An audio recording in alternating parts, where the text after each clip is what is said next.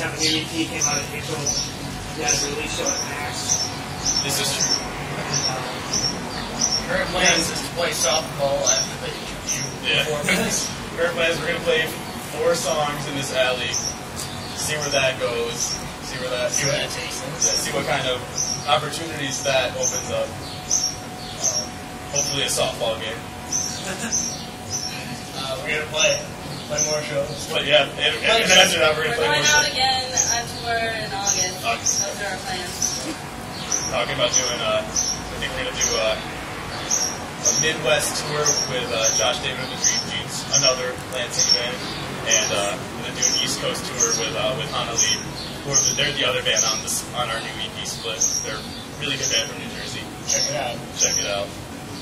Real good. Um, you guys started in 2004. You guys had a record, Whatever's Forever, eight. And uh, how do you guys think the sound has evolved? How do you think that record is part of your sound? I mean, like when we started in 04, it was like it was like my first band. This guy had been in a band for a while, and she had been in a band for a little bit. But I think we were all pretty we were all pretty green. I think we all it took us a few years to really sound like the band, to even begin to sound like a band. You know what I mean? Yeah. So it's evolved quite a bit. Like when we first started, um, it was basically we were able to start a band together because we were all listening to Doolittle by the Pixies a lot. So we just learned like half of that album. In our first shows, we played like half of that album in every show, and so that's so so think Like yeah, six song sets with three Pixies. coming. yeah so think you know different levels of amateur musicians between the ages of of 15 and 18 uh, trying to cover Doolittle. that's how it. That's what we started sounding like. As, as far as whatever's forever goes, um, we, I feel we uh, fulfilled the vision for that album pretty well when we made it. I listen to it now, and I think it's softer and slower than it should be, and that I can sing it a lot better. But How do you guys think you guys' personal changes over the last six years have influenced? Personal changes. Just like since, since you started.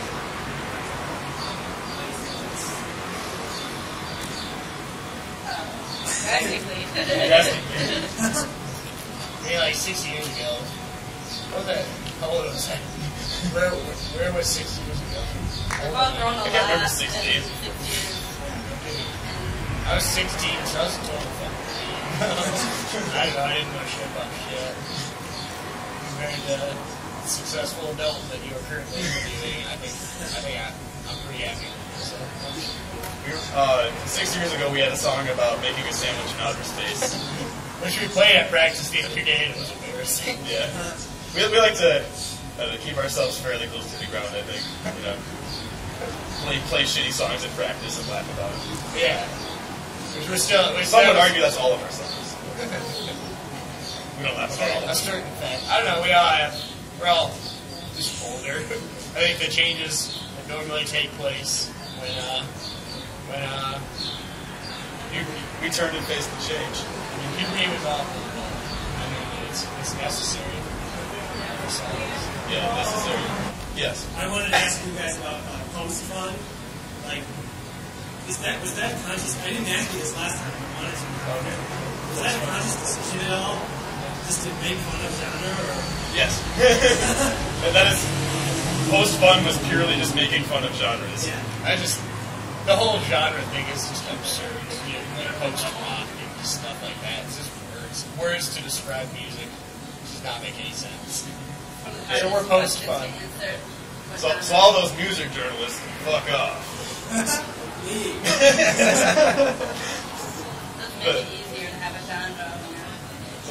It's like, when, I when I when people add like, was that?